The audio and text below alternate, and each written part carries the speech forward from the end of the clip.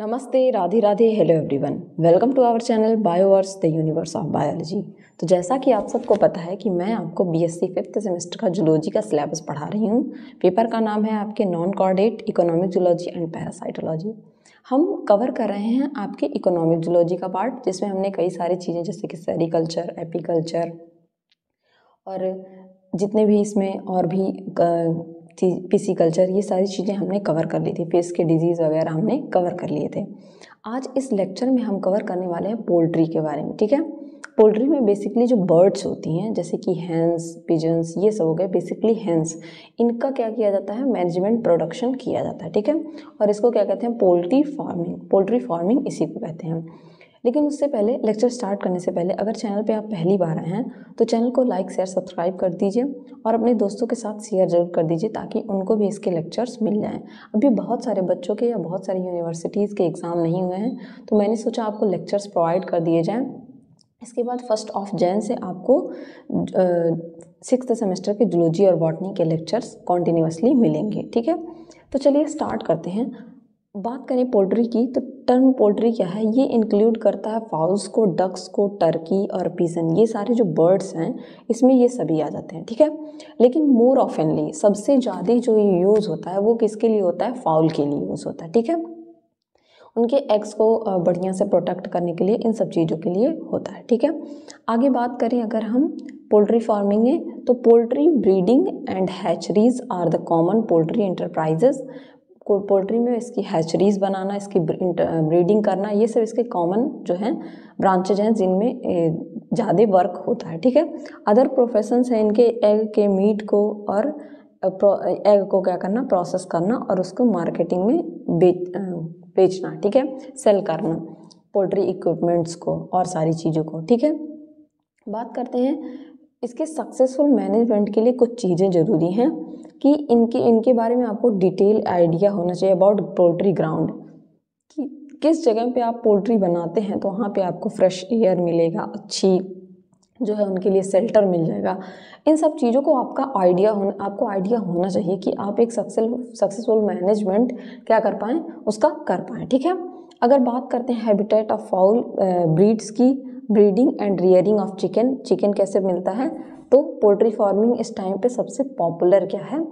एक तरह से एक तरीके से आप कह सकते हैं इंडस्ट्री, क्योंकि लोग नॉन वेजिटेरियन जो भी हैं, वो चिकन तो खाते ही खाते हैं, ठीक है? और एग्स भी बहुत पॉपुलर है प्रोटीन का सोर्स है।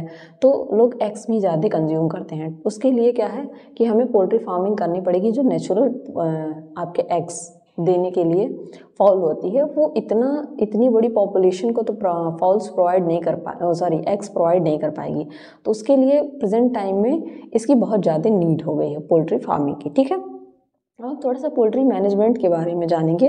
तो यहाँ पे बोला गया है कि इसके सक्सेसफुल मैनेजमेंट के लिए पोल्ट्री के लिए कि ये ये चीज़ें रिक्वायर होती हैं, ये चीज़ें ज़रूरी हैं। जैसे कि इनको अच्छा प्रॉपर सेल्टर मतलब रहने के लिए घर सेल्टर अच्छी होनी चाहिए। इनका हैबिटेट अच्छा होना चाहिए और फ़ूड भी इनको अच्छी क्वालिटी का मिलना चाहिए, तभी आप बहुत अच्छा मैनेजमेंट इसका कर पाएँगे। जो फाउल्स होंगे, वो चिकन बहुत अच्छे से ग्रो कर पाएँगे और आपको अच्छी क्वालिटी के चिकन्स मिलेंगे, अच्छी क्वालिटी के एग्स मिलेंगे, तभी ना आपका जो मैनेजमेंट है अच्छा होने की वजह से ही आपको बेनिफिट होगा, ठीक है? तो बात करें these should be protected from the enemies for obtaining maximum yield इनको एनिमीज़ यानी अपने दुश्मनों से भी प्रोटेक्ट करना बहुत ज़रूरी है, ताकि आप ज़्यादा से ज़्यादा मैक्सिमम क्या करें एग्स और चिकन्स क्या करें, इनसे ऑप्टेन कर सकें ईल्ड कर सकें, ठीक है? जो इनकी पोल्ट्री के एग होते हैं, उनको क्या किया जाता है? केप्ट किया जाता है dry clean and properly ventilated किया जाता है और वेल लाइटनिंग हाउस में रखा जाता है, ठीक है? इन शेल्टर को कूल किया जाता है समर में और वार्म किया जाता है विंटर में। मतलब ठंडियों में इनको क्या किया जाता है? गर्म रखा जाता है और गर्मियों में इनको क्या किया जाता है? ठंडा रखा जाता है ताकि जो एग सॉरी जो फाउल्स हैं, उनको बहुत अच्छा इन्वायरमेंट मिल सके, ठीक है? बात करें कि यहाँ की सॉइल कैसी होनी चाहिए तो बेसिकली यहाँ पे प्रेफर किया जाता है कि सैंडी और ग्रेवल्ड ये दो टाइप के सॉयल जो हैं गुड अमाउंट में यूज़ किए जाते हैं, ठीक है? जिससे कि जो फ्लोर हो, वो कवर्ड रहता है, ठीक है? चॉप्ड स्टॉ पैडी हस्क और ड्राई लीफ ठीक है? यहाँ पे उनके फ्लोर के ऊपर आपने मिट्टी डाला, उसके बाद चॉप्ड स्ट्रॉ मतलब जिसको कि भूसा हिंदी में कहते हैं, ठीक है? पैडी हस्क यानी कि जो आपके धान गेहूँ होते हैं, उनके जो पार्ट जो उनका बचा रह जाता है, उससे क्या बनता है? पैडी का हस्क बनता है, वो और ड्राई लीफ डाले जाते हैं। अब इनके सेल्टर की अगर हम बात करते हैं तो सेल्टर में क्या होता है कि fowl should be kept from hot sun. Hot sun यानी कि सूर्य की गर्मी से इसको दूर रखना चाहिए, हॉट, कोल्ड और विंड से भी इसको क्या करना चाहिए? हैवी रेन से। इन सबसे बचाने के लिए क्या करना चाहिए कि इन सबसे बचाने के लिए इसे श्रब्स एंड ट्रीज़ जो हैं, वहाँ पे प्रोवाइड किए जाने चाहिए, ठीक है? जो डिफरेंट एज के फाउल्स होते हैं मतलब जैसे कोई छोटा है, कोई बड़ा है तो उनको अलग अलग सेपरेटली अलग अलग सेल्टर्स में रखा जाना चाहिए। मतलब अलग अलग एक बना दीजिए आप कि यहाँ पे छोटे फाउल्स रहेंगे, यहाँ पे बड़े फाउल्स रहेंगे, उनको सेपरेटली रखा जाना चाहिए, ठीक है? जो सेड्स हैं इनके, ये बने होते हैं कि इसके चीप मटेरियल जैसे कि बैम्बू से स्ट्रॉ से ये सब कंस्ट्रक्टेड होते हैं बने होते हैं और ग्राउंड से थ्री फीट ऊँचे ये बनाए जाते हैं। ठीक है, आप सबने कहीं ना कहीं पोल्ट्री हाउस ज़रूर देखा होगा अपने आसपास में। पोल्ट्री हाउस की बात करते हैं तो जो पोल्ट्री हाउस होते हैं, ये वुडन हो सकते हैं मतलब लकड़ियों के बने हो सकते हैं ब्रिक्स यानी कि ईंटों के बने हो सकते हैं, या जो इनकी रूफ होती है, वो मेटल जो आपने पतली पतली चादर देखी होगी मेटल्स की आती है, इनकी आयरन सीट्स होती है, इनके रूफ पे रखी जाती है। ठीक है? वो पतली पतली मेटल्स आप देखते होंगे, गाँव में अक्सर घरों पे टीना उसे बोलते हैं, टिन की बनी होती है वो तो उससे ये क्या होते हैं, ढके जाते हैं, ठीक है? For proper ventilation poultry house should have open verandah इसका मतलब है कि अगर इस तरीके से आप पोल्ट्री हाउस बना रहे हैं तो यहाँ बीच में आप ओपन प्लेस छोड़िए, ताकि जो है यहाँ पे वेंटिलेशन बहुत अच्छे से हो सके। एयर का, हवा का आदान प्रदान अच्छे से वेंटिलेशन से मतलब है कि हवा का आदान प्रदान बहुत अच्छे से हो सके, ताकि उनको अच्छा इन्वायरमेंट मिले, ठीक है? House should be never be overcrowded इसको बहुत ज़्यादा भीड़ वाली जगहों में या बहुत ज़्यादा बंद जगहों पे नहीं रखना चाहिए, ठीक है?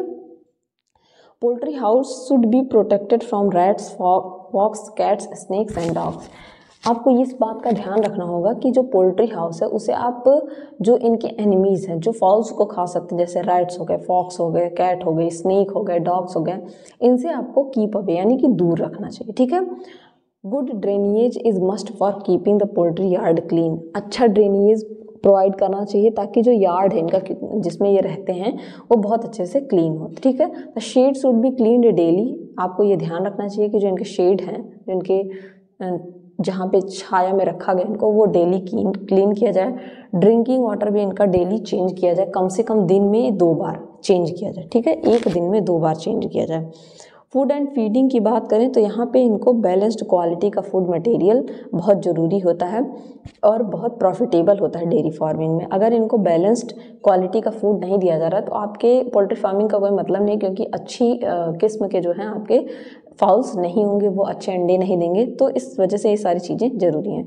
जैसे कि ओट हो गया, मटर हो गया, ग्राम हो गया, चना, बीन्स, ये सब गुड फ़ूड हैं फाउल के लिए। वीट हो गया, जार हो गया, बाजरा ऑयल केक ऑयल केक से आप समझ सकते होंगे, जो आप तेल तेल जब निकाला जाता है तो उससे एक मटेरियल सॉलिड निकलता है, जिसको ऑयल केक कहा जाता है। फ़िश का meat also included in feed ठीक है?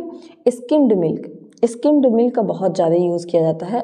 स्किम्ड मिल्क ऐसा मिल्क होता है जिसमें से सारे फैट को क्या कर दिया जाए रिमूव कर दिया जाए। फैट रिमूव करने के बाद जो मिल्क बचता है उसे स्किम्ड मिल्क कहा जाता है, ठीक है? स्किम्ड मिल्क का यूज़ किया जाता है। बटर मिल्क कर्ड का, दही का मिक्स विथ वीट वीट के साथ आप इसको मिक्स करके बार्ली के साथ मिक्स करके एक न्यूट्रिटिव फ़ूड के फॉर्म में दे सकते हैं। बॉयल्ड पोटैटो को मिक्स करके आप इसे देख सकते हैं, ठीक है? इनके लिए बहुत अच्छा फ़ूड होता है बॉयल्ड पोटैटो ठीक है? उसमें इक्वल पार्ट वीट या ब्राउन का डाल सकते हैं फॉल्स के लिए, जो बहुत ज़्यादा हेल्दी होता है। The skimmed milk is highly nutritive for young chick young chicks के लिए स्किम्ड मिल्क जिससे फैट रिमूव कर दिया है, गया है, वो बहुत ज़्यादा हेल्दी होता है, ठीक है? The green food as fresh water sorry fresh tender grass garlic का लेट्यूस का ऑनियन का गार्लिक का आप समझ रहे होंगे, लहसुन का पत्ता लेट्यूस जो आपके साग होते हैं, उनके पत्ते अनियन प्याज के पत्ते, ये सब क्या होते हैं? अनकुक्ड होते हैं और इनके जो है जो लीव्स होते हैं, वो बहुत ज़्यादा अच्छे होते हैं फॉल्स के लिए, ठीक है? Should be given after some interval कुछ समय के बाद अब इनको दे सकते हैं। कोल्ड सीज़न और rain at the time of meeting cold season जो होता है और रेनी सीज़न जो होता है, इनके मीटिंग का टाइम होता है। इस टाइम पे ये मीटिंग करते हैं, उसके बाद फर्टिलाइजेशन के बाद ये एग प्रोड्यूस करते हैं, ठीक है? बेस्ट डाइट की अगर हम बात करें तो बेस्ट डाइट क्या है इनका?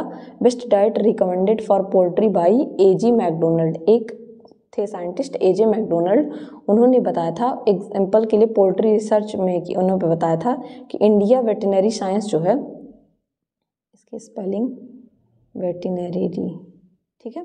वेटनरी साइंस रिसर्च इंस्टीट्यूट इज़्ज़त नगर यूपी में है।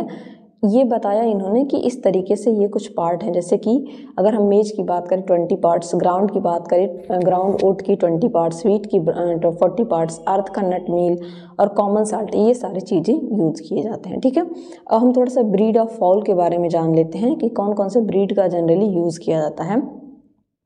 तो ब्रीड ऑफ़ फॉल्स की बात करें तो selection of fowls breed should be based on object with which fowls are kept ये डिसाइड करने के लिए ये देखा जाता है कि किस ऑब्जेक्ट पे ये बेस्ड है। कुछ बेस्ट वेराइटीज हैं, जैसे Langshan, rock, Grama, Australorp, Rhodes, Saser, Chittagong Leghorn Ancona Minorca and Campine ये कुछ बेस्ट ब्रीड हैं जो सबसे लार्ज साइज़ के यज्ञ क्या करते हैं? प्रोड्यूस करते हैं। अब इसके बाद रियरिंग ऑफ़ चिकन और इसके कुछ डिज़ीज़ बचे हुए हैं, ठीक है? रियरिंग ऑफ़ चिकन और इसके कुछ डिज़ीज़ बचे हुए हैं तो जिसको हम डिज़ीज़ और कंट्रोल के बारे में आगे के लेक्चर में कवर करेंगे। आज के लेक्चर में बस इतना ही। उम्मीद करती हूँ कि आपको ये लेक्चर बहुत अच्छे से समझ में आया होगा।